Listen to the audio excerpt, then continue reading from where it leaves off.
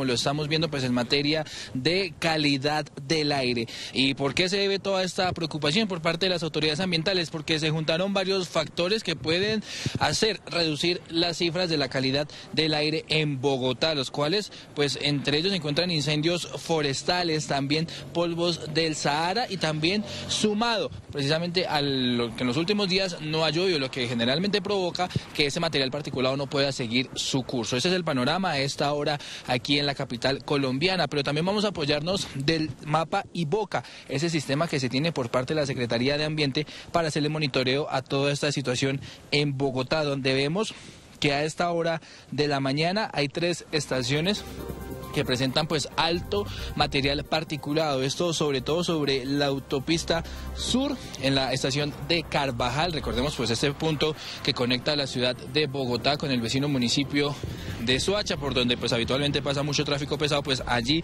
se está registrando este material particulado. También hay dos estaciones en la localidad de Fontibón. Vemos estas que están de color naranja, donde también se está registrando todo este panorama en el monitoreo de la calidad del aire. Aquí en el oriente de la ciudad, como podemos y gran mayoría, pues se mantiene en el estado moderado a esta hora de la mañana. Nosotros, pues por supuesto, hablamos con la ciudadanía para conocer qué es prevenciones se están tomando en medio de todo este escenario que se registra en la ciudad y esto fue lo que nos dijeron.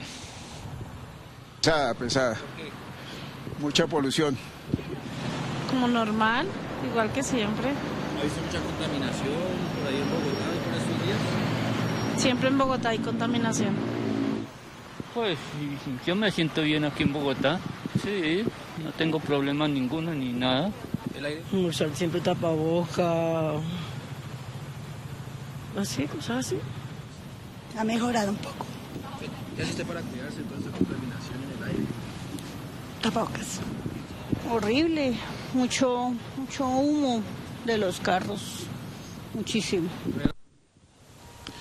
Por supuesto, las recomendaciones del distrito en referencia a estos puntos donde la calidad del aire es regular, pues preferir el transporte público en lugar de usar el vehículo personal, es lo que se indica. Adicionalmente, evitar usar el automóvil, evitar eh, pues precisamente todo este transporte para ayudar a bajar todos estos índices, también realizar actividades que involucren la quema pues en lugares forestales, adicionalmente realizar la limpieza húmeda en el frente de la vivienda si las condiciones del suministro de agua lo permiten, pues para precisamente evitar que todo ese material suspendido de arena o tierra también genere pues estas afectaciones en materia de calidad del aire, pues que posteriormente pueden también provocar algunas afectaciones en la salud. Pues ese es el escenario con el cual despierta la ciudad. Por ahora los dejamos con estas imágenes aquí en Arriba Bogotá, que sí le responde a la ciudad. Si este video fue de su interés o quiere enterarse de la actualidad de la capital, lo invitamos a suscribirse en nuestro canal de YouTube y activar la campanita.